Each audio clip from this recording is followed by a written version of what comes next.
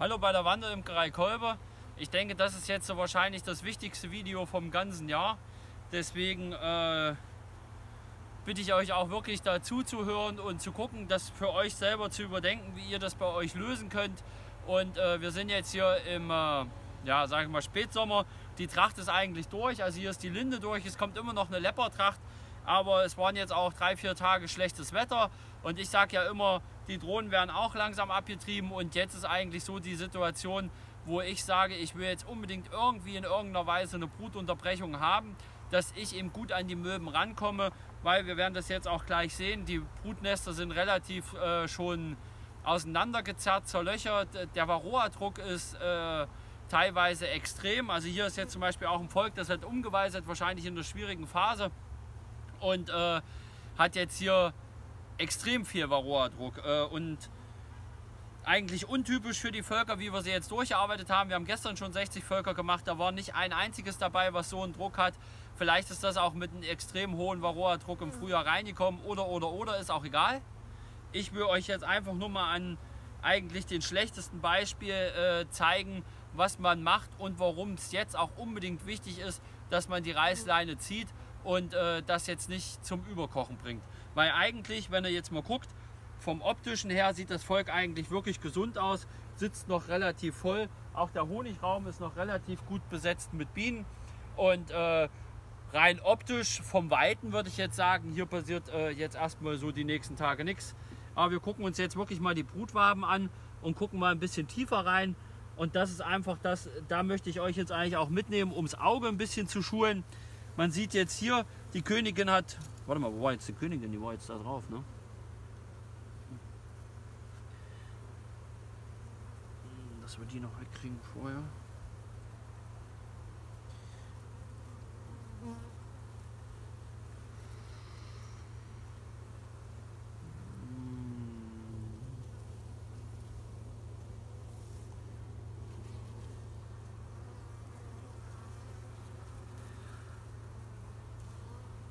Ja, wie ihr seht, jetzt ist alles noch möglich. Die Bienen sehen zum größten Teil noch relativ gesund aus. Da oben ist die Königin. Ja, eigentlich ein schönes Tier, hat auch noch wirklich Kraft. Aber irgendwann ist die Kurve eben so hoch, dass es eben selber nicht mehr schafft. Ja? Futterversorgung ist auch noch relativ gut. Die kriegen jetzt natürlich aber auch gleich im Futterstrom. Die drücke ich jetzt auch runter von vom Honigraum, dass die wirklich mm. unten auch eine gute Bruttemperatur haben.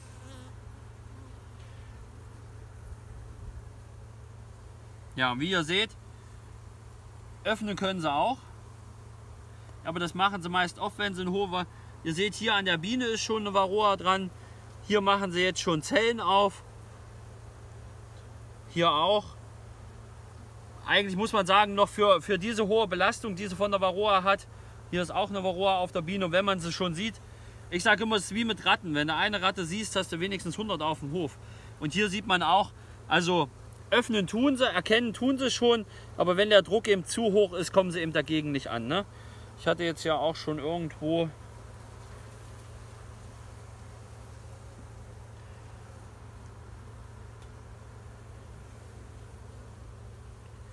hier auch. Man sieht das auch schon, die Bienen gehen dann da ist auch wieder eine drauf. Die Bienen gehen dann hier rein und haben eigentlich schon fast die Kraft gar nicht mehr, um rauszukommen. Ja. Man sieht rein optisch, sieht man der Biene jetzt so eigentlich nichts an, aber man sieht verkürzten Hinterleib. Die Biene ist recht taumelig, also da fehlt schon an der Substanz. Hier haben wir schon die ersten Flügellosen. Also wenn man richtig reinguckt, eigentlich ein sehr schönes Volk.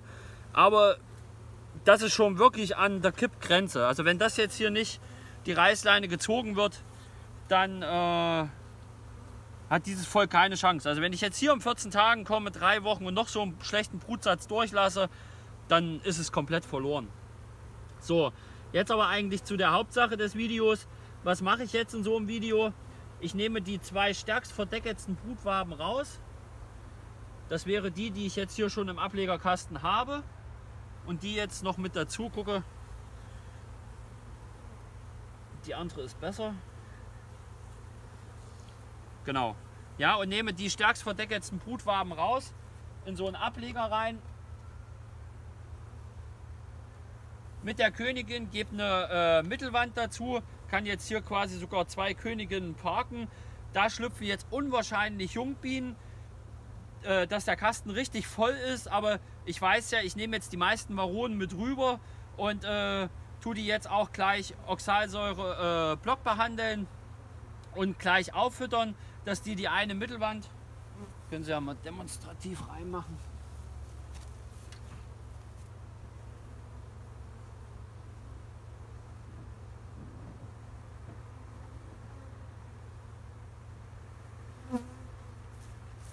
dann bauen die diese Mittelwand auch relativ schnell aus. Und dann möchte ich mal schnell erklären, was eigentlich die Philosophie dabei ist, was passiert. In den Kasten schlüpfen jetzt relativ schnell die ganze, äh, die ganze verdeckelte Brut. Die Königin legt jetzt auf den Altwaben nochmal schön durch, kann auch wenig weg, macht dadurch nochmal ein sehr konzentriertes... Ja, Varroa verseuchte Bienen sind ja nicht nett, ne? Dann hat man die Phase, dass sehr viele Jungbienen geschlüpft sind, sehr, sehr viel offene, frische Brut ist. Und wenn ich dann mit meiner Behandlung komme, habe ich hier so, wenn ich jetzt anfange und das die nächste 14 Tage durchziehe, habe ich in dieser Phase auf jeden Fall so ein, zwei Tage, wo ich ganz, ganz wenig verdeckelte Brut habe und an die Möben relativ stark drankomme und äh, zumindest für diesen Ableger die Möbenpopulation so weit runterdrücke, dass der eigentlich vernünftig über den Winter kommt. Bei dem Wirtschaftsvolk habe ich jetzt folgende Situation und damit ist der Ableger auch erledigt. Den Ableger nehme ich jetzt einfach nur auf einem anderen Stand. Da ist ja schon eine Königin drin. Den tue ich nur noch kontinuierlich auffüttern und gucke, dass ich in den nächsten 14 Tagen, den habe ich dann recht eng bei mir am Haus, äh, dass ich in den nächsten 14 Tagen eine sehr gute äh, Varroa-Behandlung mache. Und dann ist der Ableger gerettet und bei dem Vollvolk habe ich ja jetzt hier quasi noch die gesamte Substanz. Ich habe die ganzen noch einigermaßen guten Bienen, doch noch ein bisschen was, was einigermaßen vernünftig schlüpft. Eine relativ gute Futterversorgung, sitzen auch noch schön zusammen. Und die ziehen jetzt natürlich eine Weisheitszelle. Ne? Und hier warte ich jetzt genau eine Woche, weil nach sieben Tagen kann man das machen und dann habe ich immer noch so ein, zwei Tage Puffer bevor eine Königin. Ja, also normalerweise am neunten Tag, aber am neunten Tag muss ich auf den Stich da sein. So mache ich eigentlich immer eine Woche, bin eigentlich nach einer Woche da und wenn da mal irgendwas passiert, weil ich den einen Tag nicht kann, habe ich immer noch zwei Tage Luft, bevor eine Königin schlüpft. Was mache ich dann in einer Woche? Dann nehme ich euch dann auch wieder mit, stoße die ganzen Brutwaben ab, breche die einzelnen Zellen und habe dann auch eine ganze Reihe von Jungköniginnen mit dabei, wo ich dann auch sofort eine Jungkönigin einweisen kann. Was habe ich dabei erreicht? Ich habe eine Woche lang, wo die ganzen, äh, wo keine frische Brut kommt, wo nur schlüpfende Brut ist, wo die Bienen sich trotz Pflegebienen aber erholen können für den ne neuen Brutsatz. Nach einer Woche bringe ich, boah, das ist aber nicht schön. Nach einer Woche bringe ich äh, eine neue Königin, die braucht ein, zwei Tage, bis sie rausgefressen ist, ein, zwei Tage, bis sie angefüttert ist. Also nach drei Tagen, vier Tagen wird die erst richtig in Eilage gehen. Und dann habe ich ja auch das Eistadium, die, die Larvenstadium und dann wird es ja erst nach fünf, sechs Tagen verdeckelt. Und da habe ich auch wirklich eine relativ starke Brutfreiheit in den Völkern. Aber im Gegensatz zu, man sieht das jetzt hier an dem Volk sehr schön, im Gegensatz zu einer totalen Brutentnahme habe ich jetzt hier natürlich unwahrscheinlich viele schöne Altwaben, wo Futterversorgung drauf ist, wo eine Pollenversorgung drauf ist. Auf so einer Altwabe stiftet die Königin viel, viel lieber und den Raum lasse ich mir jetzt auch frei zum Abschlagen, wenn ich dann die Zellen breche und den fülle ich dann natürlich, werden wir dann auch sehen, fülle ich dann schön auf mit Mittelwänden und tue sie dann auch schön kontinuierlich einfüttern. Und somit habe ich auch hier und behandeln, auch Blockbehandlung, Oxalsäure und somit habe ich auch hier in dem Bienenvolk relativ schönen Zeitraum, wo sehr wenig Brut verdeckelt ist, wo die Wölben alle da sind und wo die Bienen, die da sind, nochmal eine neue Chance haben, um das Volk vernünftig aufzubauen. Und äh, ich habe das Forstjahr mit sehr vielen Völkern probiert, so um die 100. 50 habe ich in Bannwabentaschen gesteckt, musste aber jedes Mal auch die Wabentaschen reinbauen, wieder rausbauen, muss dann auch wieder diese zwei äh, Waben äh, versorgen. Und so ist das eigentlich ein schönes System. Ich bin einmal dran, habe den Ableger, den ich kontinuierlich schön aufbauen kann.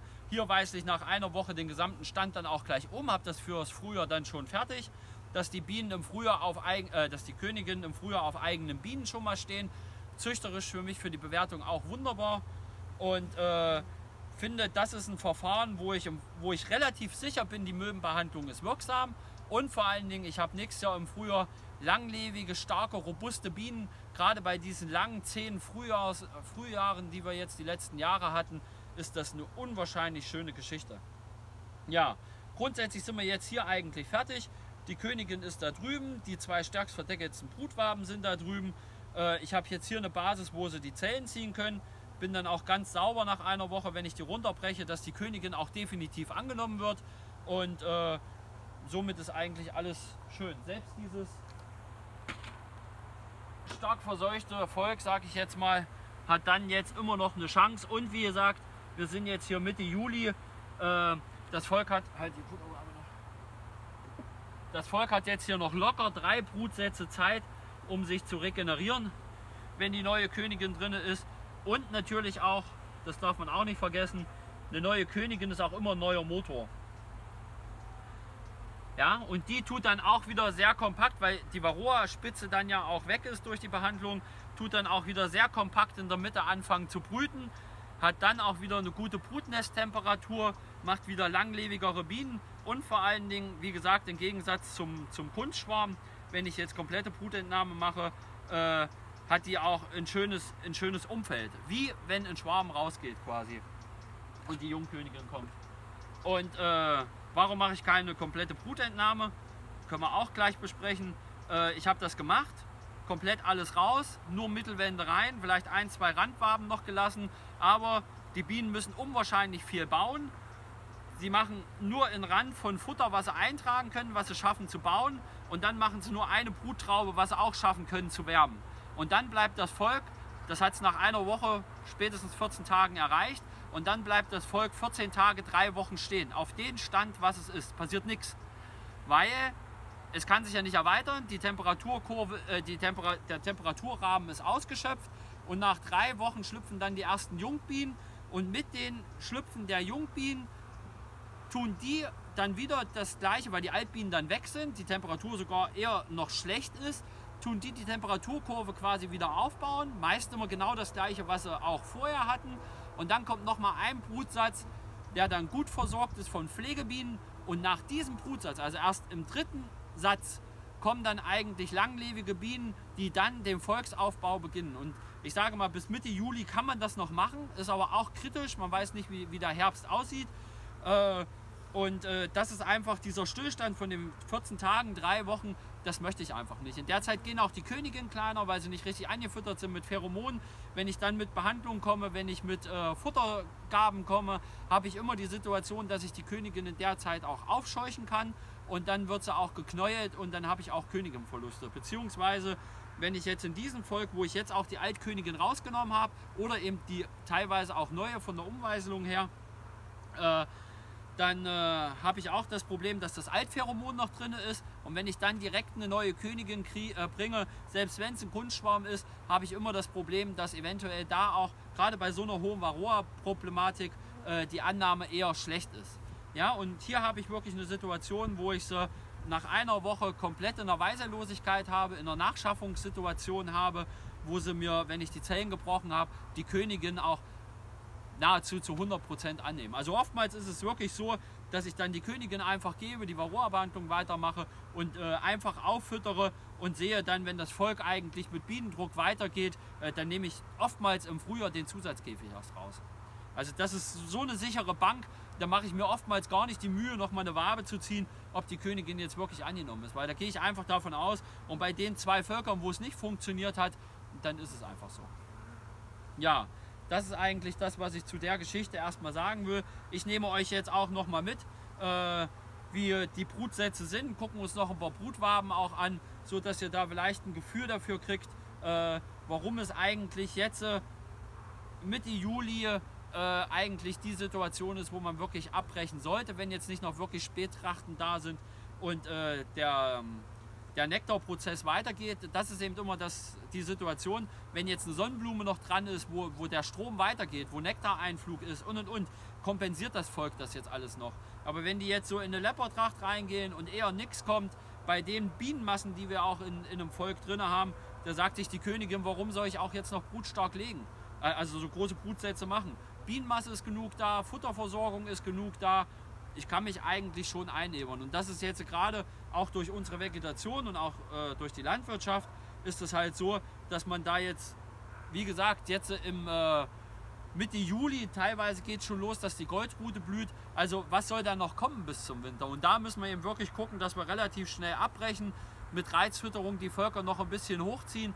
Und dazu ist es gar nicht mal schlecht, wenn eben ein bisschen Brutmasse oder Bienenmasse auch weggeht, damit die Völker noch mal ein Stück weit Reiz haben, um für den Winter sich wirklich schön aufzubauen. Und wenn man es durch diese Art und Weise macht, dass man die Varroa-Kurve in Cut macht, es geht gar nicht darum, alle Varroen rauszukriegen. Es geht hauptsächlich darum, die Varroa-Kurve, wie wir jetzt hier gerade gesehen haben, die dem Volk schädigt, einfach so weit runterzukriegen, dass man äh, wieder in ein Spiel reinkommt, wo das Volk sich vernünftig für den Winter vorbereiten kann und langlebige Bienen fürs nächste Frühjahr machen kann, um äh, ja, einfach zu überleben.